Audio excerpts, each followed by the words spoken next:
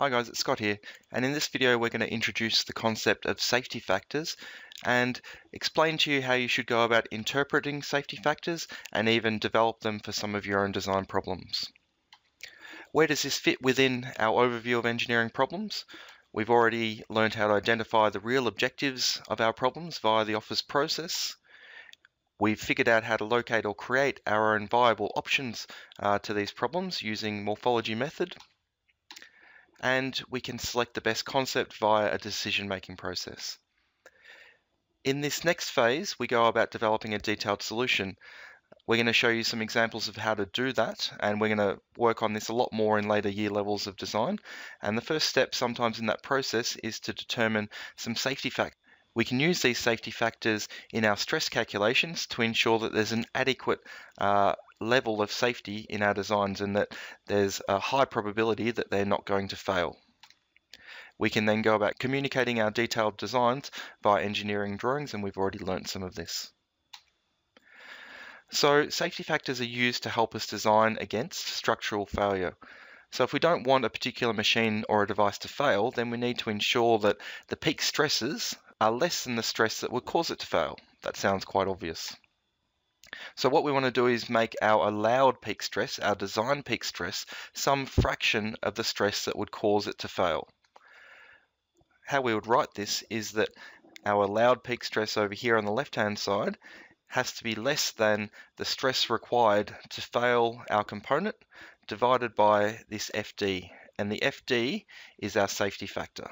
And we're going to explain to you how to come up with your own safety factors for your designs. So how do we go about interpreting a safety factor?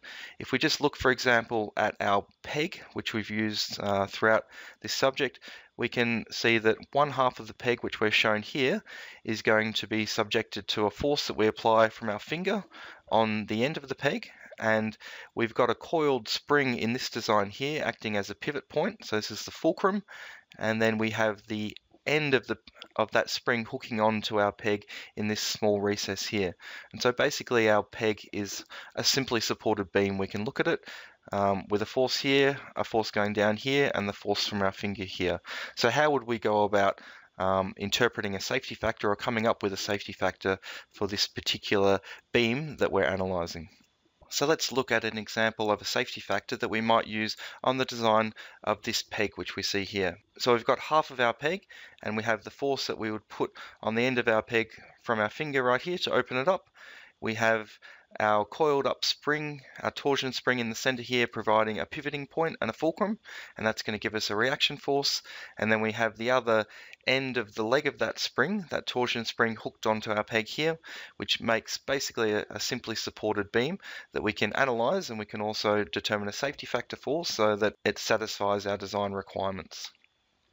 So we want to design for adequate beam strength in this region here, and that's going to be the focus of this example.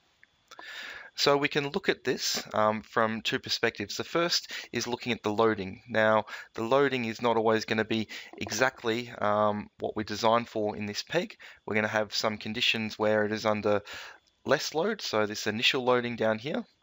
So that's going to happen some amount of the time where it's just sitting there. And then we're going to have our usual loading, which is when we're just opening the peg up fully to put to put it onto some clothes on the clothesline and that's going to happen in the middle of this frequency graph here. And then we're going to have possibly some misuse scenarios where we try and put our peg onto a piece of clothing that's maybe too big for it. And that's going to generate a forced opening here, which may create even more load than usual. So we can represent that in this frequency versus force graph here, where we have um, the following loading um, frequency distribution. If you've done a little bit of stats, um, you should understand that. So that's the loading side of the equation. Then we have the strength side of the, the equation. So if we went and made a thousand pegs, they're all not going to be exactly as strong as each other. There's going to be some distribution of that strength through that population. So in the center here, uh, in the middle of our distribution, we're going to have the average molding outcome. It's going to have a certain strength then either side of that we're going to have some variation. So if we get a really good day and the best possible mold, the, the plastic is at the exact right temperature and everything works perfectly, we're going to get an above average molding outcome that's actually going to be stronger than the average. But if we have a bad day and maybe some humidity or maybe we get some bubbles into the plastic, then we could potentially have a flawed molding process. So the strength of all of the pegs that we make, we should anticipate is going to have some distribution, something like this. So what we want to do as designers is figure out what overlap is allowable between the strength of what we're designing and the loading that it is going to be subjected to. So we should know that if the lowest possible strength here is greater than the highest possible loading that that this device is ever going to see, then this peg will never fail if there's a gap between here. But unfortunately, we can't afford to design all of our devices to have a significant gap there so that nothing ever fails. We live in the real world and we have to accept that sometimes we're going to have um, an extreme loading condition combined with maybe a poorer strength um, item and there's going to have to be some level of failure that we're going to tolerate. So this is what these two curves generally look like in the real world where we have to accept that um, some of the parts that we manufacture might experience this extreme loading and might be subject to failure. It's not economical for us to design it so that nothing will ever fail. So how do we take a safety factor, a single number, from looking at these two graphs? Well, the common way to do it is to take the maximum predictable loading. So this is the standard usage of the peg where we open up to its full extension but not beyond. And then we compare that to the minimum predictable strength that we anticipate.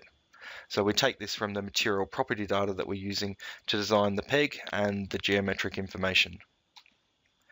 So if we read off this number here and this number here, then this is how we come up with our safety factor. So our safety factor is going to be the strength divided by the load a more common way to write this is that our allowable stress or our design stress needs to be equal to or less than the stress which would cause failure divided by our safety factor, which is this FD. So let's take a look now at how we go about selecting a safety factor and there's a standardized process that we can go through to follow a recipe basically to come up with a safety factor that is appropriate to our particular design problem.